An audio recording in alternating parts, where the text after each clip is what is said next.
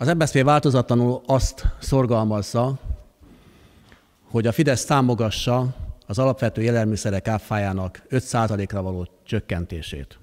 Erről az elmúlt napokban is nyújtottunk be módosító indítványt. Szomorúan tapasztaltuk, hogy a Fidesz ebben az ügyben is lesöpörte megoldási javaslatunkat. Márpedig ez a javaslat nem csak a magyar családok életét tenné könnyebbé, alkalmas lenne a korrupció visszaszorítására is. Ugyanis teljesen világos, hogy az Európában rekordmagasságú áfakulcs az egyik oka annak, hogy sokan úgy érzik, Magyarországon érdemes áfát csalni. Nagy pénz van ugyanis benne. Ha a Fidesz változatlanul nem támogatja javaslatunkat, akkor nem csak nem támogatja a családok élethelyzetének megkönnyítését, hanem azt is világossá teszi, hogy azért nem akarja az alapvető élelmiszerek áfáját csökkenteni, mert akkor véget érne a magasfokú lenyúlási lehetőség. És akkor itt szeretnék áttérni azokra a hírekre, amelyek az elmúlt napokban joggal borzolták a magyar közvéleményt.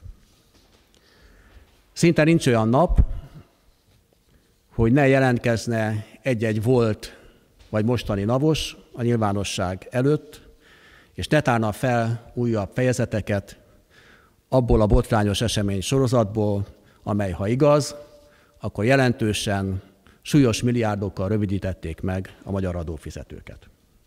Szeretnék arra emlékeztetni, hogy még az előző kormányok idején, az úgynevezett elmúlt nyolc évben hoztuk létre a kiemelt ügyek adóigazgatását, egészen pontosan 2007-ben.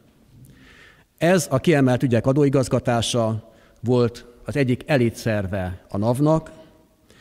Itt voltak a legkiválóbb revizorok. Ez a szervezet, ez a szervezeti egység rendelkezett a legmodernebb informatikai és egyéb operatív eszközökkel. Ennek a szervezetnek, ennek a szervezeti egységnek a munkáját 2011-12-ben a Fidesz beszüntette. Árulkodó jelez. Az MSP az elmúlt napokban számos kezdeményezést tett annak érdekében, hogy a nyilvánosság számára derüljön ki, hogy a felsorolt súlyos vádakból mi az igazság. Az MSZP több vezető tisztségviselője, így például Kovács Tibor és Szekeres Imre bizottsági tagok, illetve alelnökök kezdeményezték a gazdasági és a költségvetési bizottság előtt Horváth András meghallgatását. Ugyancsak emlékeztették arra, hogy Mesterházi Attila, Józsa István, Veres János és Kovács Tibor egy parlamenti határozati javaslatot is benyújtottak e tárgykörben. Ebben kezdeményezték, hogy az országgyűlés kérje fel a kormányt, hogy azonnali hatája hozzák nyilvánosságra az egy hétvége alatt lezavart belső navos ellenőrzés eredményét. Másodszor vizsgálják meg Horváth András bejelentését, készítsenek a vizsgálatról jelentést, és azt a parlament vitassa meg.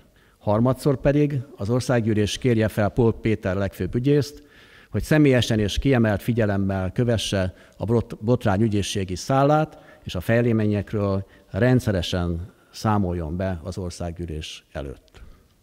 A kezdeményezések közé tartozik az is, hogy Mesterházi Attila írásbeli kérdéssel fordult Orbán Viktor miniszterelnökhöz az ügyben, hogy megtudjuk, valóban megkapta-e Lázár János a volt adóellenőr áfacsalás ügyről készített feljegyzéseit, és amennyiben igen, akkor mi volt a megtett intézkedések sorsa. Egyáltalán történt-e intézkedés? Teljesen világos, hogy ebben a kérdésben egyetlen egy parlamenti párt bújik el a nyilvánosság elől, és próbálja megakadályozni az igazság napfényre kerülését, ez pedig a Fidesz. Ezért a kérdéseink a Fideszhez a következőkben foglalható össze. Egy.